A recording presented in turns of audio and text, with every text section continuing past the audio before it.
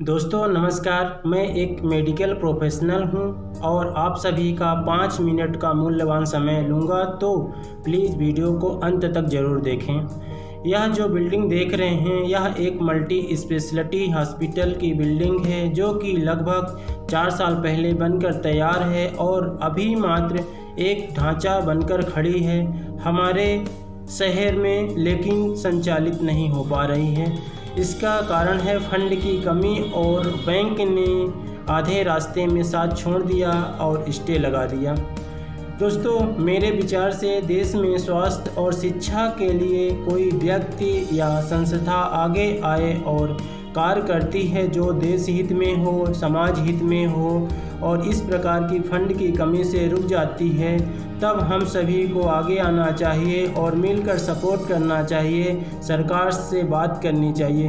दोस्तों, यह विचार मेरे मन में इसलिए आया क्योंकि मैं हॉस्पिटल में जॉब के लिए सर्च कर रहा था नियर मी हॉस्पिटल तब मैंने गूगल के माध्यम से इस हॉस्पिटल संस्था के बारे में पढ़ा, जिसमें लिखा है, बस स्टैंड में खड़ी है चौवन करोड़ की आफत। दोस्तों, यह आफत नहीं, स्वास्थ्य और शिक्षा का केंद्र बनेगा, जहाँ हम जैसे और आप जैसे हज़ारों बेरोजगारों को रोज़गार मिलेगा। और दूसरी तरफ़ बैंक ने लोन ना चुकाने का बोलकर नीलामी की बात लिखी है, जो कि चार साल से पूरी नहीं कर सकी। और मेरा मानना है कि जब हॉस्पिटल पूरी तरह से कंप्लीट नहीं है और संचालित नहीं हुआ तो कैसे लोन चुकाया जाएगा और स्टे लगाने के कारण करोड़ों की बिल्डिंग धीरे धीरे क्षतिग्रस्त हो रही है? अतः आपके माध्यम से मेरा मानना है कि इसको संचालित करने के लिए सरकार को आगे आना चाहिए अथवा सभी मिलकर, हम सभी मिलकर क्राउड फंड करने में मदद करें और हमारी सरकार भी क्राउड फंड करने में मदद करे।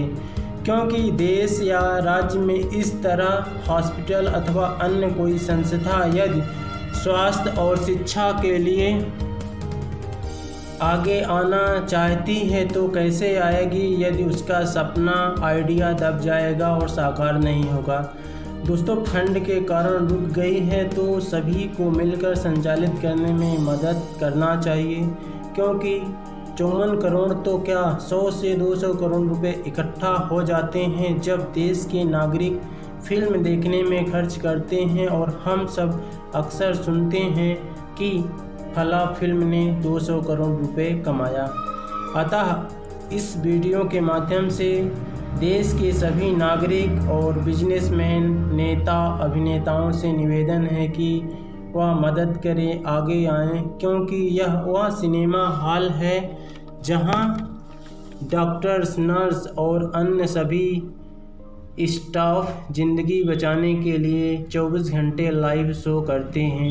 जिसको संचालित करने के लिए आप सभी से निवेदन करता हूँ कि एक टिकट के रूप में फंड ज़रूर दें और देश के स्टार अभिनेताओं से विशेष अनुरोध है कि मेरी इस हॉस्पिटल रूपी सिनेमा हॉल को संचालित करने में मदद करें। और दोस्तों, आप फंड हमें पीएम केयर के माध्यम से दे सकते हैं और हमें कमेंट में बता सकते हैं, जिससे हम पीएम अपने देश के प्रधानमंत्री और मुख्यमंत्री से बात करके हमें फंड मिल सके तो कमेंट ज़रूर करें। दोस्तों, यदि आप पीएम केयर इस वीडियो के माध्यम से डोनेट करते हैं, फंड देते हैं तो आप हमें इस पीएम केयर ऐप्स के माध्यम से दे सकते हैं। और दोस्तों, आप यह वीडियो देख रहे हैं तो प्लीज़ मदद करें। साथ ही सभी दोस्तों को शेयर करें ताकि यह वीडियो मीडिया के माध्यम से मुख्यमंत्री और प्रधानमंत्री तक पहुँच सके। धन्यवाद दोस्तों वीडियो को देखने के लिए। बहुत बहुत